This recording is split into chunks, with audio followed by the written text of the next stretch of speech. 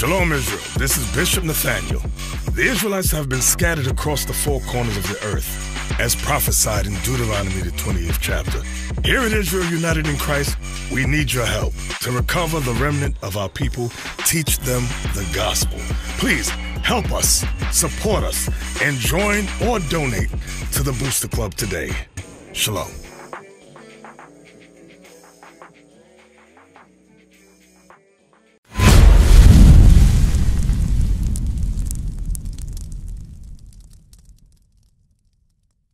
I'm not, I'm, I'm doing this as they come in, all right? Number one, how do I prepare my household for a Lord? All praise, that's a really good question. That's a really good question. How do I prepare my household for a Lord? All right, let's get it. Let's get Second Esdras.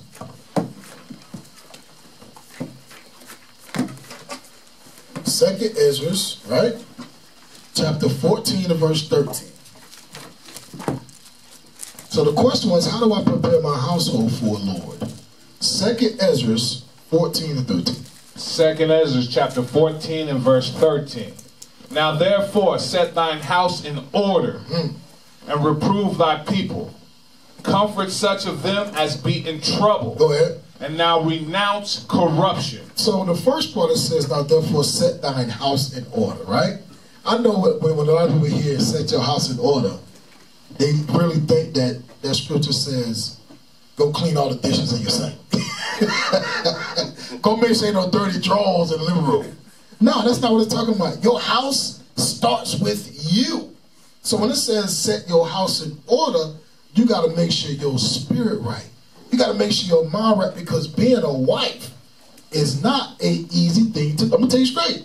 It's not an easy thing to do. Just like being a husband is not an easy thing to do. It's easier once y'all on the same page, yeah. But just being a wife, you got to be prepared mentally, spiritually, uh, uh, to be someone's rib, someone's wife, right? Read verse 13 again.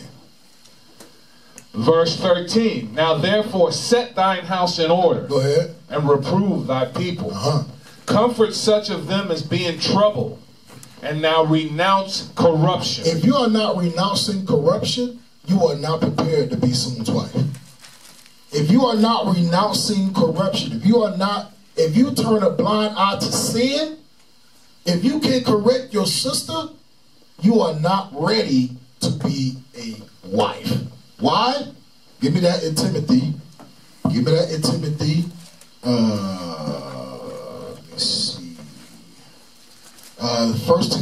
5 and verse 14. Watch First- this. Go ahead. First Timothy chapter 5 and verse 14. Go ahead. I will therefore that the younger women marry. So a sister wanting to be married, that's biblical. That is the will of God for a young sister to want marriage, which is good. Read on. bear children Stop. Bear children. Hold that. Go to Sirach. Go to Sirach chapter 30.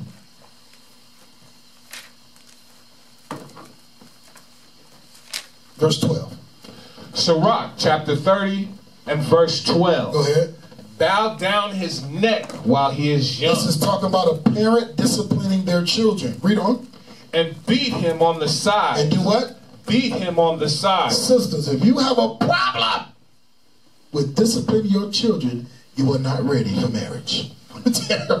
if you got a problem with disciplining your child, if you got a problem with correcting your sister, you are not ready for marriage. You can't beat my baby. Nope. Nope. My baby can do no wrong. You ain't ready, sister. You ain't ready. All of this goes into setting your house in order, mentally preparing yourself for marriage. Because with marriage comes kids. With kids comes discipline. With kids comes being stressed out. That's right. That's, That's right. right. With kids comes sacrifice. That's right. You know, and it starts with you being ready to be married. So we are, I don't excuse. I want, I want to get married. Okay, so you want kids? No. What's that? I mean, what? Bring it out. How you know you ready to be married? Especially if you're a young, uh, a, a young single sister. You know. But all, all of that goes into um, preparing your house for marriage, right? Read on. Let uh beat- bow down his neck while he is young. Go ahead. Beat him on the sides while he is a child, Go ahead. lest he wax stubborn Mm-hmm. and be disobedient unto thee. Go back to 1 Timothy 5 and 14.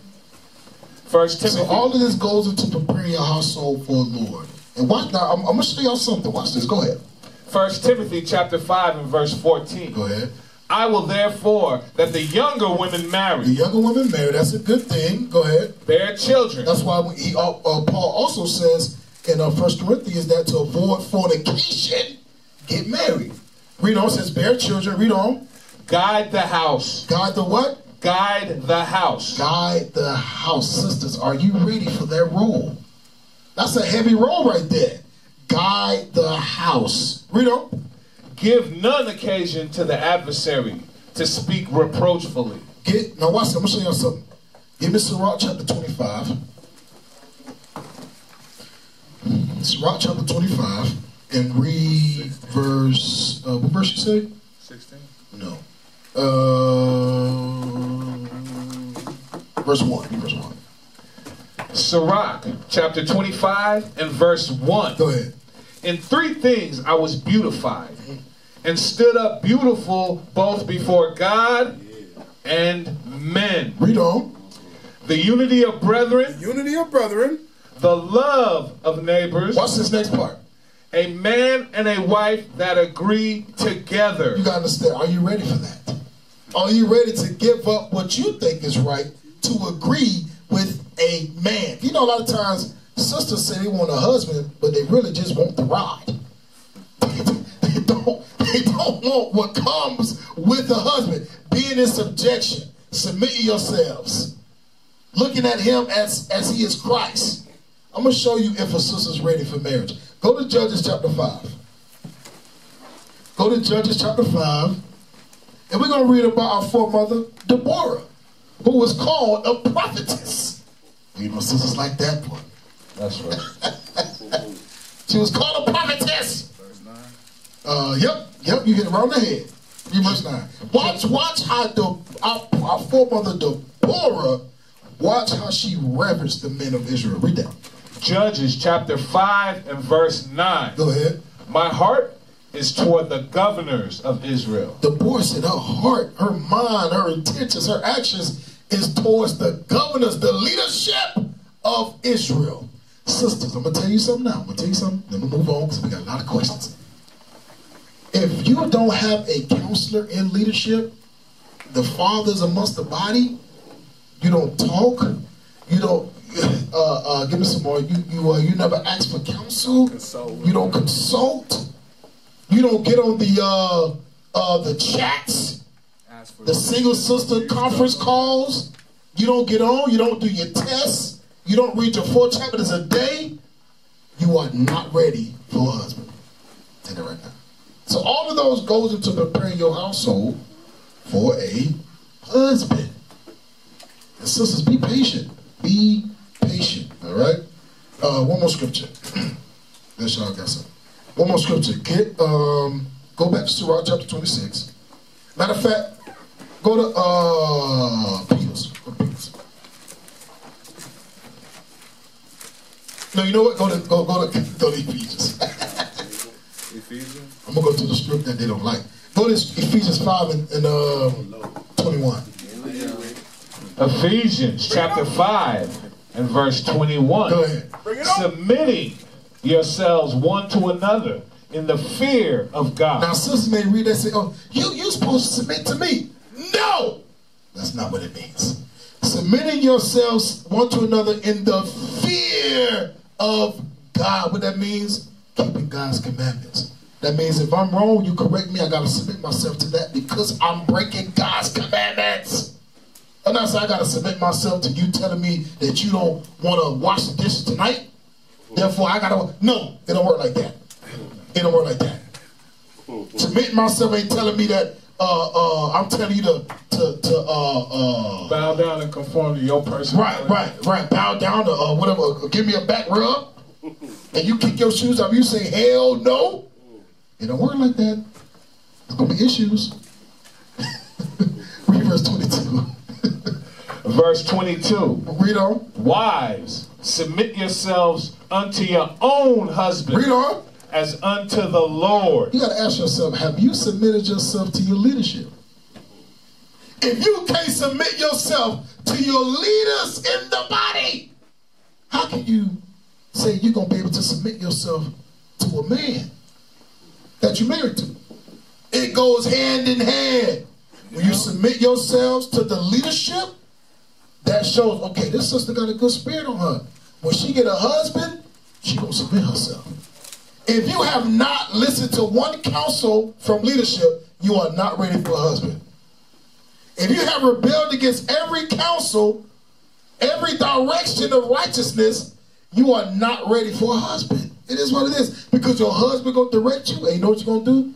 Do what you wanna do. Because all the red flags are there. And when a brother come and say, hey, what about this? I'm gonna, do what Bishop say.